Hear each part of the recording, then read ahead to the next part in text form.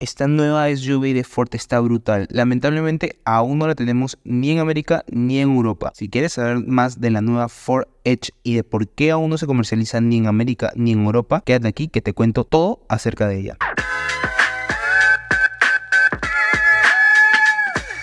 Y sí, señores, lo que estás viendo ahorita en pantalla es la nueva Ford Edge L, que está fabricada en China para el mercado chino. Lamentablemente aún no la tenemos ni en Europa ni en América y no sabemos si va a llegar pero quieres saber más acerca de esta camioneta por si llega a tu país, este es el video indicado para ti. Así que comencemos ya de una vez. En primer lugar, lo que te voy a decir es que tiene ciertas cosas que me dejaron loco, que realmente ni la Ford Expedition las trae. Como ya es costumbre, comencemos por el exterior. Y el exterior de esta nueva Ford Edge L ha sido remodelado completamente. Si bien es cierto, tiene un look más tecnológico, le veo mucha característica de camionetas chinas y bueno, es normal, puesto que esta ha sido fabricada en China y ha sido concebida para el mercado asiático, así que esto no está mal en este modelo. Lo que nosotros tenemos es la Ford Edge de la generación, si lo podemos llamar así, pasada, que se va a seguir comercializando en muchas partes de América Latina, de América y en Europa. Si es que no piensan traernos los de Ford la nueva Edge que ha sido fabricada en China, realmente sí ya le urge un nuevo rediseño, un facelift o una nueva generación a la Ford Edge que se comercializa en estas partes del mundo. Ahora sí, continuando con el diseño externo, tiene una nueva iluminación que entra en conjunto con la parrilla, o sea, los LEDs invaden un poco de la parrilla para así darle un look más tecnológico a esta camioneta. Aparte de que hay una barra LED que sí atraviesa toda la parrilla para toda la iluminación externa de la parte delantera. ¿Qué más cambió esta nueva Ford Edge L o L ha crecido en tamaño ya que ahora es una camioneta para 7 pasajeros con la configuración de 2 más 2 y 3 en la parte trasera. ¿Cuáles son sus nuevas dimensiones? Ahora mide 5 metros de largo, 1 metro con 96 de ancho y 1 metro con 77 de alto. Lo que también es nuevo en esta Ford Edge es que ahora es bicolor, si lo podemos llamar así. La parte del techo y la parte alta de la camioneta va a ser de un tono oscurecido o un negro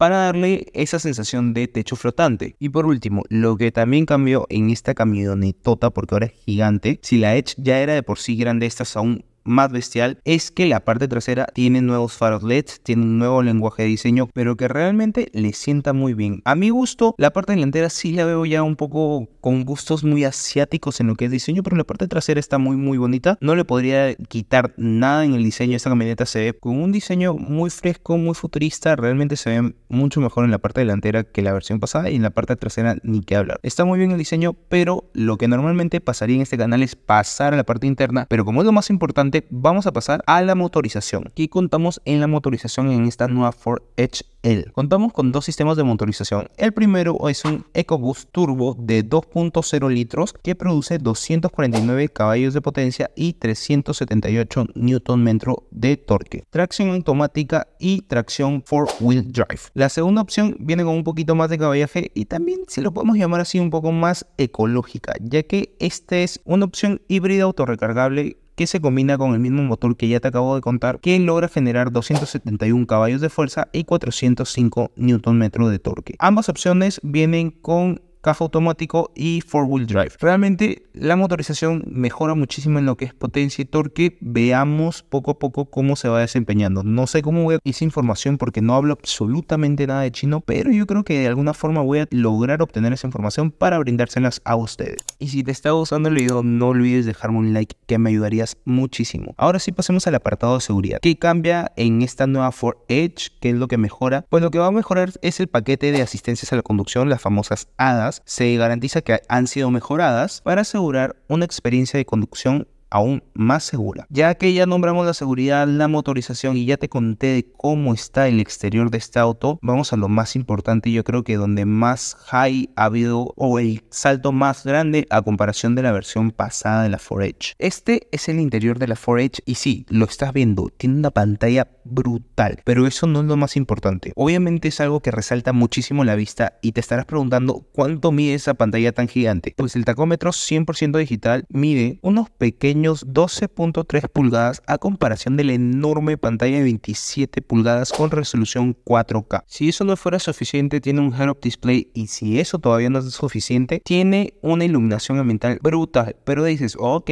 se ve muy bonito y todo, pero ¿cómo suena? Tiene un sistema de audio firmado por B&O que termina de complementar toda esta experiencia audiovisual que te puede dar la cabina de esta nueva Ford L, que realmente te da un confort, al menos en ese aspecto, muy, muy bueno. Obviamente los asientos los puedes escoger en tapicería de diferentes diseños como un bicolor. Eso va mucho a depender de tu presupuesto. Pero bueno, si te vas a las versiones más full, los asientos delanteros tienen ajustes automáticos al igual que los dos traseros. Eso vamos a pasar dentro de poco, pero te sigo contando de la parte delantera de esta nueva Ford Edge. El diseño del volante no es el clásico que podemos encontrar en prácticamente todos los Ford. Ha tenido un rediseño peculiar para esta nueva Ford Edge que le sienta muy muy bien. Tiene un climatizador trizonas y está literalmente este auto plagado de cargadores inalámbricos. Obviamente sin dejar de lado las típicas salidas de puerto USB tipo C y tipo B. Ahora sí, si no te pareció esto un exceso, pasemos a la plaza trasera, la segunda fila. En la segunda fila vas a poder encontrar un espacio brutal. Como lo estás viendo en imágenes, tienes demasiado espacio. Pero no solo eso, cada persona va a poder tener su propio reposabrazo y va a poder tener su propio cargador inalámbrico. Si esto no era suficiente, lo que yo te dije que no lo he visto ni siquiera en la Ford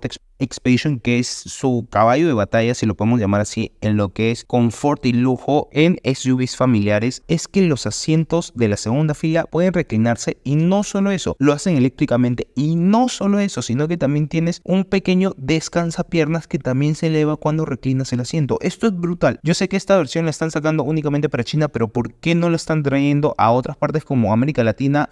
Norteamérica o Europa porque esto no lo he visto al menos en ninguna SUV y se supone que la categoría más alta de Ford en lo que es SUV familiar como te repito es la Expedition. Ahora sí, ¿qué más podemos observar? Si miras para arriba puedes ver que tienes un techo panorámico que también lo puedes abrir porque tiene una parte que es sunroof. Y ok, si eso no te pareció suficiente, pasemos a la tercera fila. O vamos a tener que hacerlo manualmente como todas las otras herramientas. No, tocas únicamente un botón y todo el asiento se acomoda para darte paso a la tercera fila. En la tercera fila sí ya nos vamos un poco más austeros porque bueno, parece que no les importó mucho en la tercera fila mantener esta bellísima calidad que realmente me parece una brutalidad. No, en la tercera fila tenemos simplemente espacios para guardar cosas, un reposabrazos, salidas de aire y aparte, bueno, una banca corrida para tres personas y nada más. Ahí Si te vas a la cajuela, podemos tener apertura automática con la llave en la parte delantera que la puedes abrir desde los controles de la parte delantera y con el pie. Aquí sí ya se ve un poquito más el bajón de calidad ya que no tenemos absolutamente nada extra o de lujo o algo totalmente nuevo y llamativo como esta segunda fila que me dejó loco tanto como la primera y los asientos de la tercera fila se bajan de forma manual, o sea tienes que jalar una pitita como siempre, como lo has hecho en muchas de la categoría de la Durango, de la Explorer, de la Kia Sorento. Entonces aquí sí ya se acabó un poco el presupuesto, no sé exactamente cuánto está costando esta camioneta. Traté averiguarlo para ustedes, pero realmente toda la página de Ford en China está obviamente en chino. No entendí absolutamente nada, no sé cómo logré llegar hasta la SUV, la que estamos hablando, la Ford Edge, pero bueno, logré encontrarla y vi un precio. No sé si eso será por mes, no sé si esto será el precio final o, o el de entrada, pero bueno,